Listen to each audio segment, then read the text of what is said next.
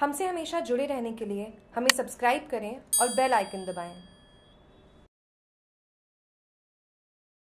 पत्रकार दुर्ग सिंह की गिरफ्तारी को लेकर शिव विधायक मानवेंद्र सिंह का बयान आया सामने पत्रकारों का लिखने का स्वतंत्र अधिकार, दबाया जाना लोकतंत्र की हत्या, मानवेंद्र सिंह जसौल पूर्व विदेश रक्षा एवं वित्त मंत्री रह चुके जसवंत सिंह जसौल के पुत्र और शिव विधायक मानवेंद्र सिंह जसौल ने बाड़मेर के पत्रकार दुर्ग सिंह राजपुरोहित की गिरफ्तारी को लेकर बड़ा बयान दिया है। बाड़मेर में इंद्र कॉलोनी स्थित उनके निवास स्थान पर उन्होंने पत्रकारों से रूबरू होते हुए कहा कि निर्दोष पत्रकार को बेझिझक लिखने पर उन्हें दबाने की कोशिश की जा रही है। इसमें किसका हाथ है ये जाँच का विषय है। शिव विधायक मानवेंद्र सिंह जसौल ने कहा की पत्रकार दुर्ग सिंह राजपुरोहित ने सोशल मीडिया आरोप मेरे खिलाफ भी सार्वजनिक टिप्पणियाँ की हैं लेकिन मैंने उन पोस्टों को पढ़ा और कभी आपत्ति नहीं जताई। उन्होंने कहा कि पत्रकारों का निष्पक्ष व बेबाक लिखना उनका हक है और वे इसके लिए स्वतंत्र हैं। उन्होंने कहा कि बिहार की मीडिया ने जिस तरह से खबरें प्रकाशित की हैं,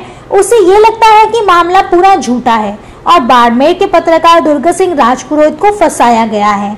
मैं दुर्ग सिंह के पक्ष में हूँ। उन्होंने कहा कि मैंने बिहार के मुख्यमंत्री नीतीश कुमार के कार्यालय में मामले को लेकर फ़ोन किया है और उनसे अपील की है कि मामले में मदद करें और निर्दोष पत्रकार को ससम्मान वापस रिहा किया जाए।